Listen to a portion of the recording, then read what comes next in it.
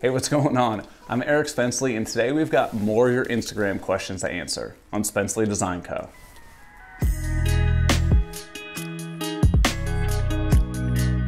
All right, so the first question for part two of the Q&A series is from Pablo Estrada. He wants to know, oh, come on, I knew this was gonna come up. Do you have any injury due to carpentry? Which basically, did I hurt myself? yes. So, most of you probably haven't seen this and it's a pretty terrible video. I think it's my second video I ever did. I was building a TV stand and I was using a doweling jig, which basically has a drill bit with a collar on it and it stops on the collar so it doesn't go all the way through a piece of wood. Well, when I used it, I guess I didn't have the collar locked down all the way. So I drilled through the wood, everything worked great, and it went through the wood and into my finger. Make sure that the collar on the drill bit is actually tightened down and you don't have your finger below where the drill bit would be, just in case it slips through, goes into your finger, and you have to go to the emergency room. Just saying. So I'll show a close up, and this is not like something super graphic. It's healed now, it's totally fine. So I'll show you my finger and that is gonna be permanent. And so if you look in all of my videos now, I have a really weird looking finger and it's never gonna come back to normal. Now I can use it just fine and everything feels right. It just looks kind of weird. So yes, I have hurt myself. Let's see, next question comes from Saint Azkaban, good prison. What's the best material to use for router templates? So I would actually change this question slightly. I would say what material works best for me, because everyone kind of does it differently. Actually, most people use MDF. So I use MDF, which is medium density fiberboard. The reason I use that is because it's really easy to fine tune. So if you have some small bumps on it, you can just blast it down with a little bit of sanding and it's way faster than something like plywood.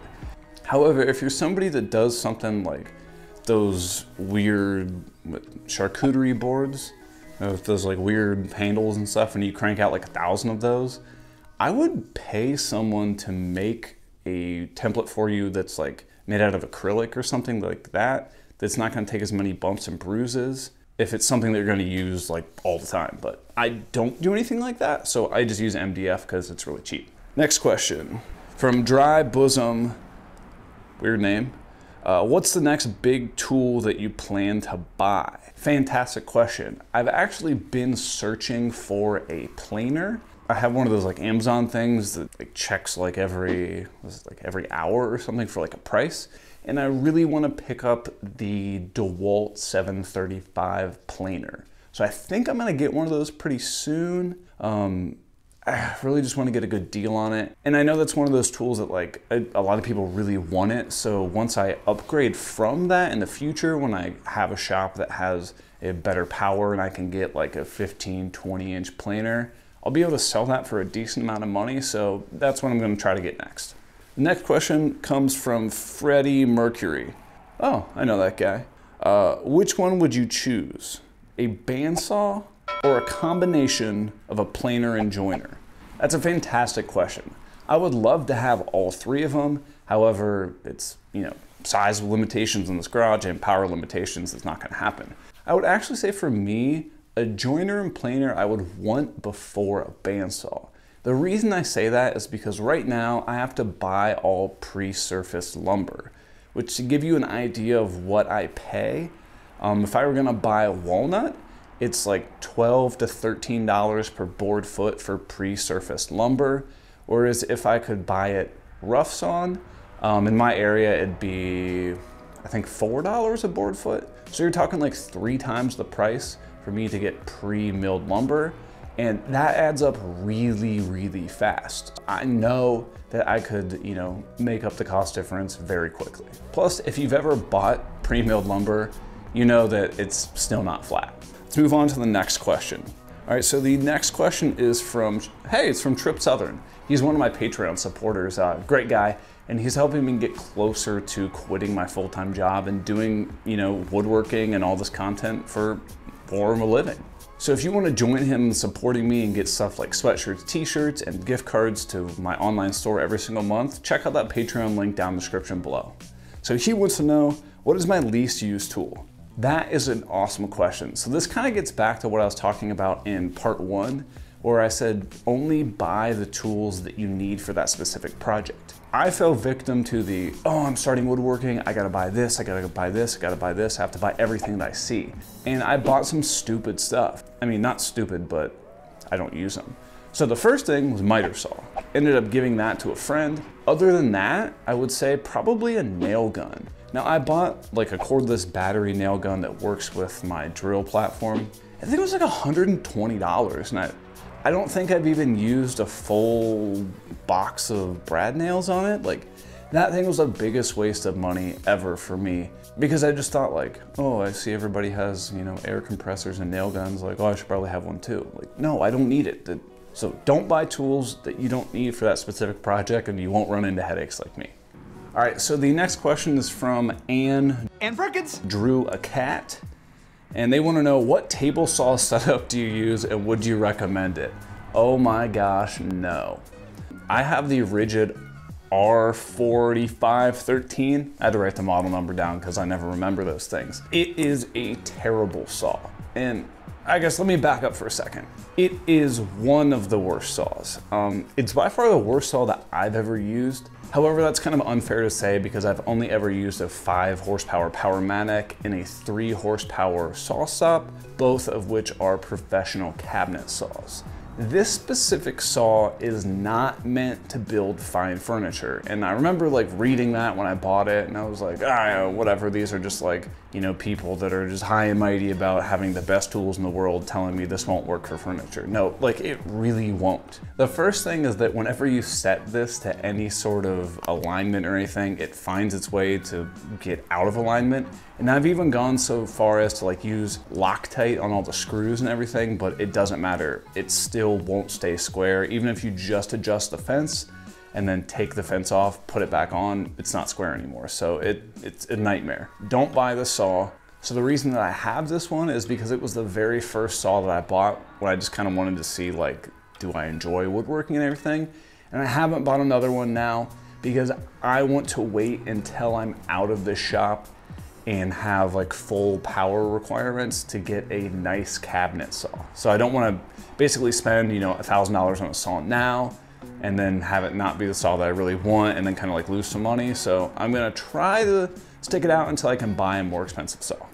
So next question. This is from Bliss Custom Woodworking. I still think you should do a SketchUp video. And I, you know, he messaged me about this and I told him that I, I think there's so many SketchUp videos out there that I don't know necessarily if anybody would benefit from me doing one. So if you want me to do a SketchUp video, you need to leave a comment down below and tell me why you want me to do a SketchUp video. Because I'm happy to do one, but I feel like I'm gonna put a lot of work into it and like nobody's ever gonna watch it. So if you want one, comment down. The next question is from, oh, the next question is again from Dry Bosom. What's one thing you wish you had known when getting started? Basically, how long do things take? Oh my, yeah. I didn't realize that it, like filming everything was gonna take so long. So to give you an idea, if I think I can physically finish a project with no interruptions, just blast into a project in, let's say one whole day, I'm going to assume just to build and film, we're not talking like edit, make plans or anything, I'm gonna assume it's gonna take me at least four to five days to make that project. So yeah, it slows me down like crazy to film all this stuff. And then when you throw in having to edit all the video, make plans, all the back end stuff that you guys never see, it takes a really, really long time to get these projects out. And like for one whole year, Miranda and I did one project every single week and it was terrible. It was so, so hard to get all that stuff out that like, I truthfully wasn't really enjoying any of the stuff that I was building. I just wanted to get like a nice solid base of content, which I think you guys can kind of tell that my projects have become different now. I still like to do some small projects here and there, just kind of like break the monotony, because sometimes when I build a really big project, I'm like so over it and I just want like a quick win, like, oh, I'm gonna, you know, do something small. Yeah, I mean, the, the thing I didn't know the most was just how much time was gonna go into all of this. So the next question is from Freddie. How did you keep yourself motivated at the beginning? Basically coming up with new ideas for like clients or for me. I guess the, the first place I kind of start with is like, I have like a problem solving mentality. If I see a piece of furniture or something at home, I kind of look at it and like, I just wish it had this. Usually it's a specific feature. And so I'll kind of write that kind of stuff down and, oh, I wish I had a piece of furniture that had a slide out tray or something like that and I kind of have a list of like all these different like requirements or design ideas and I always try to like build them into a new project. The other thing is I'm still I I consider myself a beginner with woodworking. So like I'll find techniques and tricks and stuff that people use and I'll try to design a project around me using a technique. So like I wanted to try template routing for example. So naturally I design projects that would allow myself to make a template and then route the template. The other thing with clients is I always ask clients to send me kind of like inspiration ideas. A lot of people send me, hey, here's this thing from Etsy, make it. And I won't do that. I'm happy to make my own rendition of something from Etsy. You know, maybe, oh, design idea. Like for example, the Tim table here. This is the table that I designed for someone However, this is what he had originally sent me. So you can see the same ideas there with like that flip top charging table. However, like it's a completely different design. So the next question is from EMF Urniture. How was your experience starting out, acquiring tools and getting clients? I kind of talked about it briefly, but the way I acquired tools when I very, very, very first started is I borrowed them from a friend. I borrowed a miter saw, which I know talk a lot of crap about miter saws, but that was the first tool that I borrowed. And I knocked out a couple projects with that. And then I also borrowed a couple tools from my parents. So I had very minimal money invested at the beginning on tools until I absolutely knew that I needed something. So the very first thing that I bought was like a starter kit of different like Ryobi tools. I think it's those tools back there with like the drill and circular saw and everything. So I bought that in like a Black Friday pack that was pretty cheap. And then ever since then, I've only bought tools when I need it for a project. Now, as far as acquiring clients go, it very first started out with me making stuff for like friends and family and I'd pretty much give it to them. Then I kind of graduated to building stuff at cost for people. So let's be real for a second. If you are somebody who wants to make five, ten thousand dollar coffee tables, dining tables, whatever, and you have no portfolio, no one's gonna buy from you. No one is going to put down, you know, what they could buy a car for, for a piece of furniture from somebody that they've never seen any of their work. So that's always one of my first suggestions to people when they first start out is to price their stuff fairly competitively just to get themselves out there. And you don't have to do that for a long period of time, and I know some people would actually argue against what I'm telling you, but it worked for me. And the very last question of our first Q&A series is from Taylor Taylor's a Taylor's a draft 24/7. Sorry to hear that. Advice for beginning woodworkers and what would you do differently if you could go back? I think the first thing that I would do differently is not try to jump on all these trends. I thought, hey, if I do like a live edge epoxy table or something like that, that's gonna be the thing that makes my channel go huge and I'll be so popular. And it's it's funny to look back on that now because that's actually one of my worst performing videos. I thought that was just gonna be an absolute bomb. I was gonna have, you know, thousands of subscribers just from that video alone and I didn't really my best suggestion is to stop trying to be other people and just be you. I know that's one of those like really common things that everybody says, but it's true. It's so much harder to like try to put up a persona and do what you think people might like as opposed to just doing what you like and seeing if people like that. You'll find an audience. People will like you if you show your personality. But if you're just trying to be this like blanket person that likes everything, uh, no one's really going to connect with that. And I think the same thing goes for woodworking. And I'm, I'm not trying to blast anybody who does any of these specific things, but I think if you're one of those people who like only makes fad products or projects, you're just gonna get lost in the weeds and like you're never really gonna pop because you know you're you're making the exact same thing that everybody else is. But yeah, in general, I would just say be yourself.